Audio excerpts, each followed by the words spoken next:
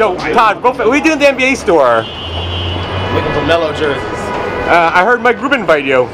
Oh man, you know, great guy. I like Philly too. Is he great? I mean, Philly, I mean, a Philly hat. Dude, Jalen, Jalen Ramsey's due for a massive uh, extension. Is he worth it? Of course he is. Without a doubt, right?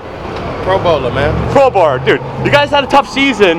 You know, we'll be bounce back year. Oh yeah, yeah. Has Sean McVay, your coach? Oh, yeah, He was no, he's darling, and you know, he's down here. People are saying maybe he's just not. You know, Nah, people figure him out. He's still the man. Rams still, still the team. You know, it'd be like that sometimes. I feel you, man. Yo, last question if you want. Yo, Wade Phillips, like, you upset he left? You said you love him. Yeah, I like Wade. Wade's a good coach. He still wants to coach somewhere. I mean, you think it's a, Oh yeah, he's still gonna coach for sure. a picture of you? Yes. Thank you. You want me to take it? Oh, you got you think it's a, he gets a job somewhere else pretty soon?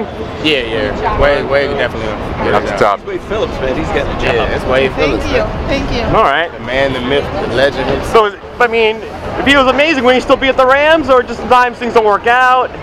Yeah, it's life, man. I mean, he was in Dallas before, then he went to the Rams. He was with Denver, so Wade's gonna be fine. I feel you on that, man. Come on. You were partying so hard the other night at the Kings game, bro. Yeah, it was a good time. It was a good time. I had to bring out my inner college days.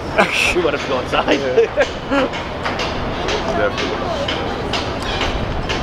But you, but you probably can't drink. You probably can't drink like you were in college. Oh nah, nah. Not not nowadays, right? Not like I- Catching up with you. Stay in shape, man. Stay in shape. I know.